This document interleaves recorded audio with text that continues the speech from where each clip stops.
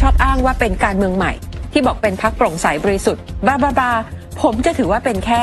โอ้โหใช้คำแรงเลยนะคุณกาวาวอืมความดัดจริตทางการเมือง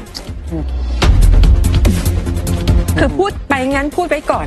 ทำได้ไม่ได้ช่างมันอีกทีค่ะเออทุกคนก็เรื่องร้องนะคะบอกว่าใช่ค่ะให้ลาออกไปนะคะถ้าคุณจะเดินอย่างสง่างามเนี่ย คุณควรจะต้องลาออกไปแล้วก็รับผิดชอบนะคะ กับสิ่งที่คุณทำขึ้นต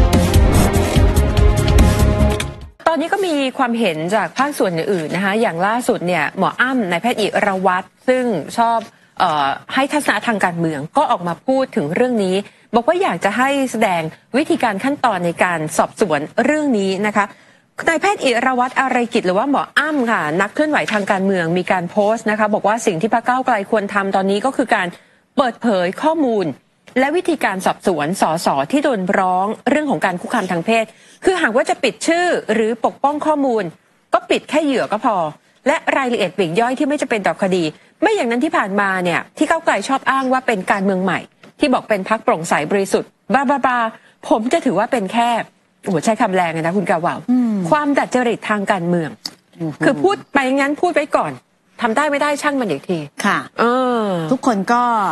เรื่องร้องนะคะบอกว่าใช่ค่ะให้ลาออกไปนะคะถ้าคุณจะเดินอย่างสง่างามเนี่ยคุณควรจะต้องลาออกไปแล้วก็รับผิดชอบนะคะ กับสิ่งที่คุณทำขึ้น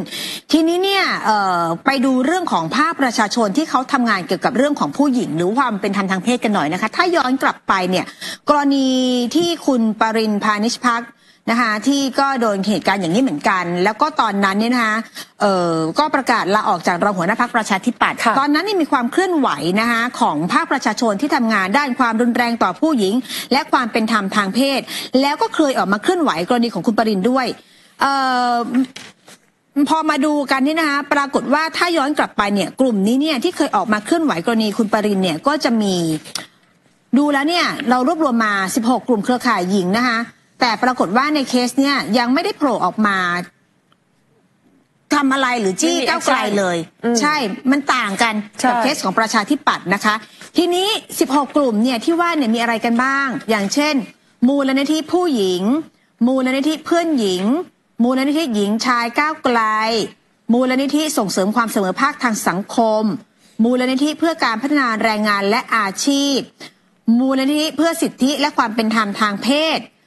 สำนักพิมพ์สะพานอะไรอย่างนี้เป็นต้นนะคะ อ่านไม่หมดมันเยอะค่ะอ่าแต่เป็นกลุ่มนะคุณผู้ชมไปดูนะแต่ว่าหายไปอะ เออที่เขาหายไปนะคะ คือเขาก็บอกเอ๊ะกลุ่มนี้เนี่ยไม่เห็นจะออกมากดดันพักก้าวไกลเลย ก็เลยทำให้มีเสียงวิพากษ์วิจารณ์ว่า อาจเพราะว่าเป็นผู้สนับสนุนพักก้าวไกลหรือไม่ อืม อันนี้คือสังคมเนี่ยเขาตั้งข้อสังเกตกันมาค่ะ แบบนี้นะคะ ค่ะ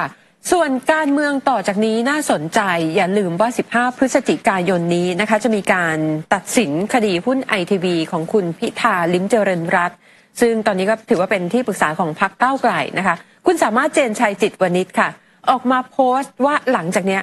น่าจะจับตาการเปลี่ยนแปลงค่ะการเมืองของไทย แต่ว่ามันจะมีอะไรเกิดขึ้นเดี๋ยวไปดูในโพสต์ของ